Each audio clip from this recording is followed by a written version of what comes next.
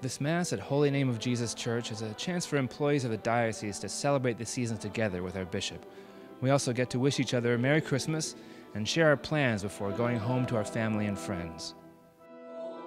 Well, this one time of the year we can have a chance to say thank you to all the people who work for the diocese, to uh, give them uh, the appreciation they deserve for the hard work they do all year long.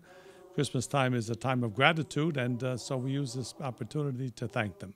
Advent and Christmas reminds us that we are saved. The Savior is born. But if we don't know what we need to be saved from, we're going to miss the joy of Christmas. And so think about what in your life could be better? How could you make it better? And then I know when Christmas comes, we ask the Savior to do that for us. This is a great opportunity to pray with all the people who support the parishes throughout our diocese, people who um, work in the offices of the diocese, the curia, as uh, Bishop DiMarzio said. And it's a great moment to celebrate the coming feast of Christmas with them and um, to look forward to God's blessings on our work in the year to come.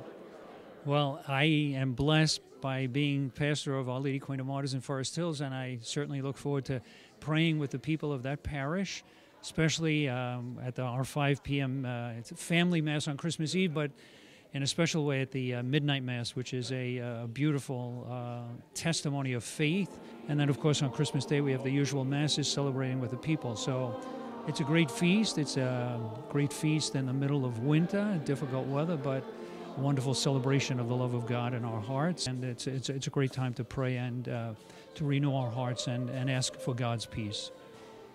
Though we're certainly going to enjoy our winter break, we look forward to the coming year, of sharing the events of the diocese with you. Reporting for Currents in Windsor Terrace, I'm Konrad Aderer, wishing you a Merry Christmas.